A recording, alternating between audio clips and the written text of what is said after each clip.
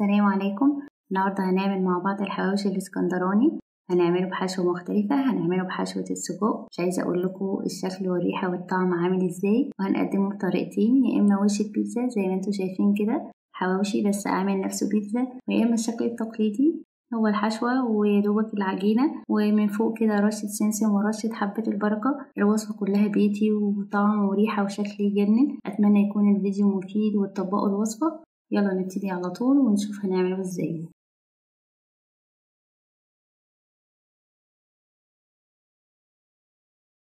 بالنسبة للعجينة عندي خمس كوبايات من الدقيق متعددة الاستخدامات أنا استخدمت الكوب المعياري.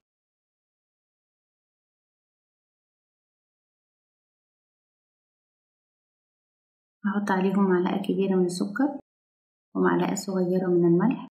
ومعلقة كبيرة ممسوحة من الخميرة الفورية وأقلب كل المكونات الجافة مع بعضها.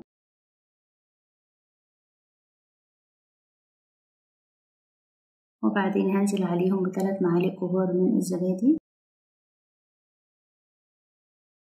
وبعدين هحط المية الدافية. أنا استخدمت من كوبايتين إلا ربع الكوبايتين. تقدري تضيفيهم بالتدريج طبعا عشان بتختلف حسب نوع الدقيق.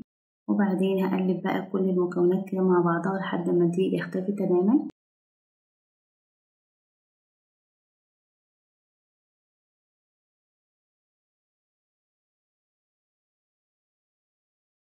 أول ما الدقيق يختفي خالص كده هنزل عليهم بمعلقتين كبار ونص من الزيت. وهرجع أعجن تاني. أنا هعجن العجينة دي لمدة ما تقلش عن 8 دقايق تقريبا. لحد ما تتكون عندي العجينة بتكون طرية وفيها سنة تلزيقة بسيطة.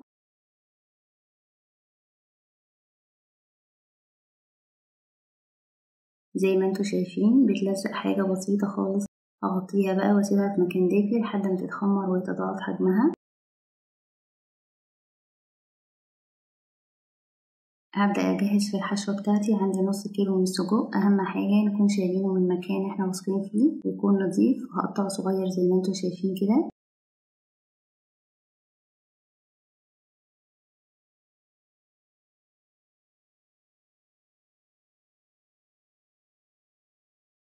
هحط عليه باقي الخضار عندي بصلتين كبار متقطعين صغير وبيكونوا متصفيين من المية وكمان فلفلاية متقطع صغير جدا ومتصفية من المية. هحط التوابل معلقة صغيرة من بهارات اللحمة ومعلقة صغيرة من البابريكا وعندي معلقة صغيرة من الملح وثلاث فصوص توم متقطعين صغير. مش هحط توابل أكتر من كده لأن السجق أصلا فيه ملح وفيه توابل. هبتدي إن أنا أعجنهم كلهم كويس جدا مع بعض بالمنظر ده وأغطيهم وأسيبهم على جنب. وايدي خلاص العجينة بتاعتي خمرت هبتدي إن أنا أقطعها. هرش دي بقى كويس عشان العجينة متلزقش في إيدي.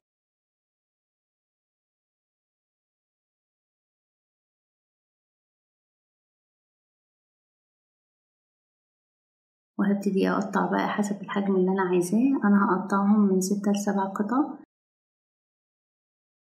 أغطيهم بقى وأسيبهم يستريحوا شوية يدوبك خمس دقايق وأبتدي أشتغل فيهم. هاخد أول قطعة هرش عليها دقيق وتحتها دقيق وهفردها حاجة بسيطة كده. وهاخد عجينة السجق بتاعتي هكورها بإيدي زي ما أنتوا شايفين كده وهاخد كورة وهحطها في نص العجينة. وهبتدي إن أنا أقفل العجينة كويس على السجق بنفس الطريقة كده. زي ما أنتوا شايفين العجينة مش رفيعة يا دوبك أنا بططتها حاجة بسيطة وبعدين حطيت فيها كورة السجق وهقفل عليها كويس بنفس الشكل كده وأرجع بقى أفردها تاني.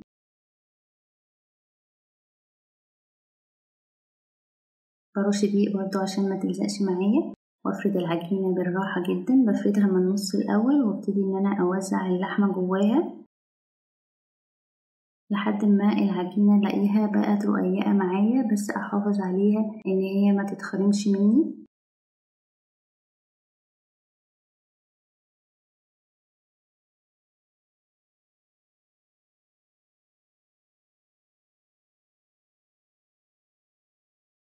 هاخد رغيف الحواوشي وأحطه على الصاجة ويكون تحت ورقة زبدة وهفرده حاجة بسيطة كده. أنا عملت له حرف تخين كأنه زي البيتزا بالظبط. وهجيب عندي معلقة خشب وفي ظهر المعلقة هعمل ضغطات بسيطة بحدد بس الحروف وبضغط في النص عشان مش عايزة العجينة تنفش معايا. ممكن نستخدم شوكة ونخرم الوش بتاعها عشان ما تنفش.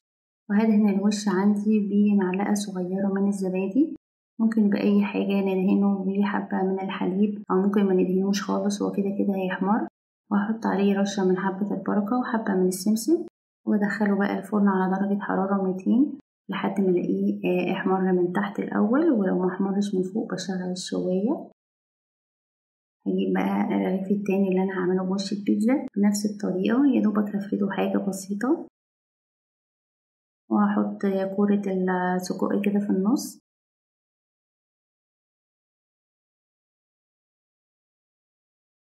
وهبتدي ألف العجينة عليه بحيث إنها تتقفل كويس جدا. وأبططها بقى تاني بنفس الطريقة.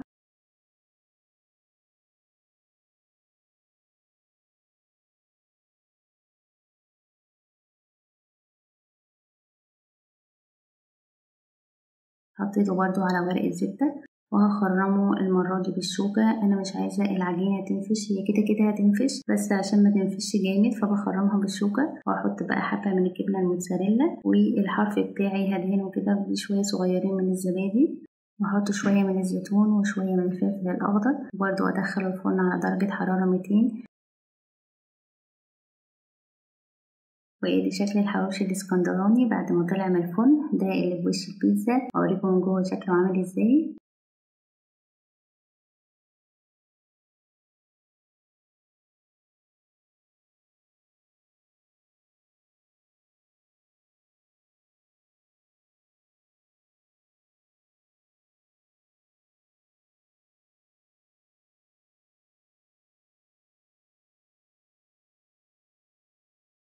الجبنة سايحة والشكل والريحة والطعم مش عايزة أقول لكم حاجة كده تجنن.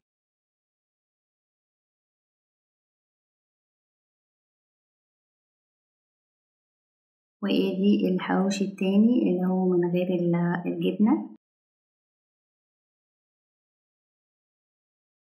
أول ما بيخرج بدهن الوش بتاعه بشوية كده من الزبدة السايحة بتديله كده لمعة وشكل تحفة جدا.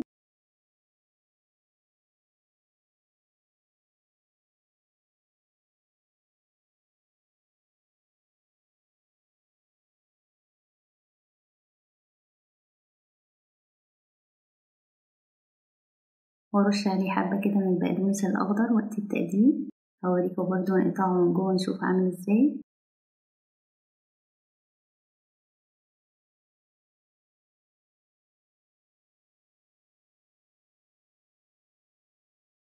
شكله تحفة جدا واخد لون دهبي من تحت ومن فوق ومن جوه شايفين الحشوة عاملة إزاي. وبيدخن كده وتحفة جدا ناكله بقى على طول. أتمنى يكون الفيديو مفيد وعجبكم. لو عجبكم بقى الفيديو like و share. واستنوني فيديو تاني. السلام عليكم ورحمة الله وبركاته.